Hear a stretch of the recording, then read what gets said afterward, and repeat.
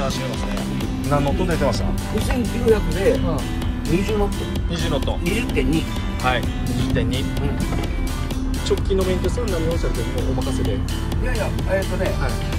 ああ先天塗装したばっかり。先天とそうエンジンとかのドライブエンジンドライブは？あの何も故障がない。故障がない、うん。ね、あの置かれてるところマリンドさんがあるからチェックしているというね。定期的に点検はしてるエンジンオイルだとかインペラだとかもうチェックも言わずともやってくれてるってことですね。俺が何も知らんから。ということでマリングさんがねしっかりね整備はされてるそうです。はい。オールボーおあのローマンがこれ4 41なのおあそうですね。これえ43なん43付きでエンジンが大きいとあ乗り換えたんすか？あの乗せ替えたんすか？そうそうそう。ああ43そしたら馬力も大きい大きいでしょ？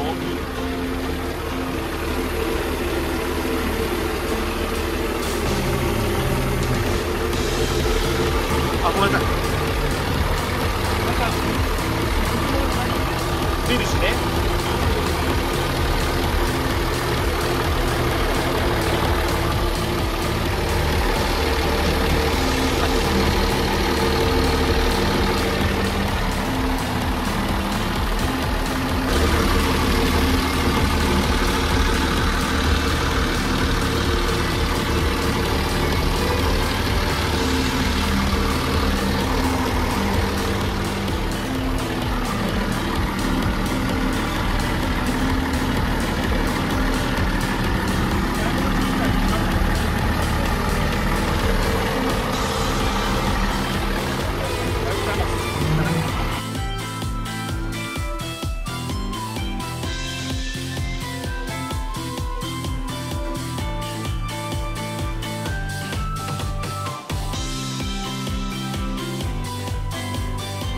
あアンカーウィンチ OK ですね。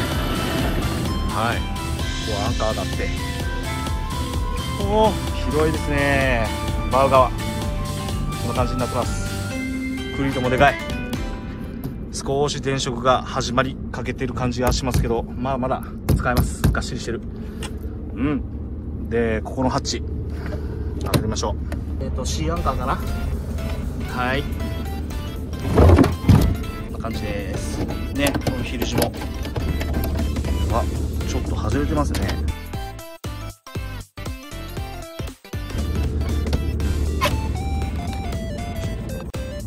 はいねこのバウ側のスペースなんですけどもバウデッキ。このね釣り座もねこうやってあってこういう風に腰掛けられます。サイドのアクセスもブルワークがねもう太ももの付け根ぐらいまであります深さが。しっかりしてる。オーナーさんこれはロッドホルダーは全部つけられる？つけとくよ。あもう全部つける。全部つバックドア。ね施錠タイプです。はい。お潮紙もなくスムーズにね開きますね。はい入ってみましょう。お広い。ハイラップシートもちょっと損傷してるところがありますけれどもこれが後ろにあってでここはこっちはまあ釣り道具とかね置かれてますけどこれは、えー外されます。ね。でこういう竿置きがあってね。レーダーもつける？あそうそうそう。レーダーはつきます。でこちらのこっちはもう魚探単体これもつきます。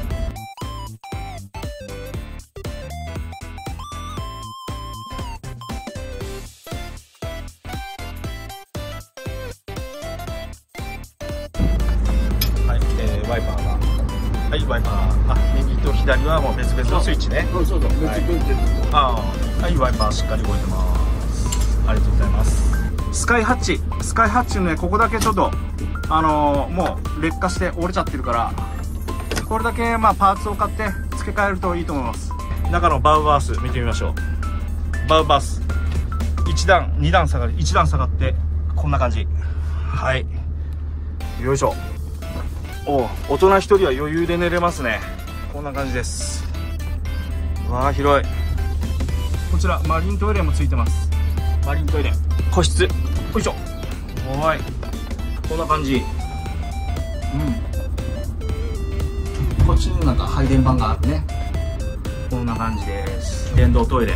マリントイレね。大人1人。余裕で入れます。はい。これねブルワークのねこの幅もすごい広い。1 0ンチはあるかな。あのシンプルでまだ何もなんかビス穴とか全然ついてないですね。ここになんかちょっとパワーホルダーの下請けがあるぐらいで。あとはもうまっさらですね。はい、えーサメが追い食いしたオーナーさんがなんか魚をねあれ取ってるみたいなんで青青も映ったらサメが追い食いした。ああ本当ですか？うわうわうわすごいすごいすごいすごい。もうシンプルですね。スパンカーもついてないしもうこのスタンレールがね低いのがスタンレールの低いのがこうついてでスイムラダーがねこういう風についてます。はい。こんな感じで。す